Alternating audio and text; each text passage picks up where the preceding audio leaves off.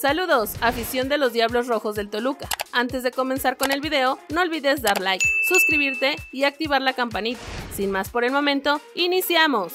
Santos, Cruz Azul o Toluca. Pedro Aquino ya informó su decisión al Club América. El nombre de Pedro Aquino se ha escuchado fuerte en el presente mercado de traspasos de verano en la Liga MX, pues luego de un semestre para el olvido con el Tano Ortiz en el Club América, surgió la posibilidad de que el peruano fuera puesto transferible en el nido azul crema, despertando el interés de al menos tres equipos de la Liga MX. De cara a la apertura 2023, Aquino ha sido vinculado con Cruz Azul, Toluca y los Guerreros del Santos Laguna, equipo con el que se había asegurado tendría todo arreglado, incluso especulando con un posible intercambio de cromos en el que involucrarían a Omar Campos o Alan Cervantes. Sin embargo, de acuerdo al reporte del periodista de marca claro, Alejandro Orbañanos, aquí sigue, firme, dentro del Club América y el peruano no está interesado en escuchar ofertas hasta que el equipo no tenga definido a su nuevo director técnico. La prioridad de Aquino es seguir en el equipo crema, por lo que primero quiere conocer al que será nuevo entrenador de las Águilas y saber si contará o no con él en su planeación, pues no quiere pasar otro semestre más siendo la tercera o cuarta opción en el mediocampo del América.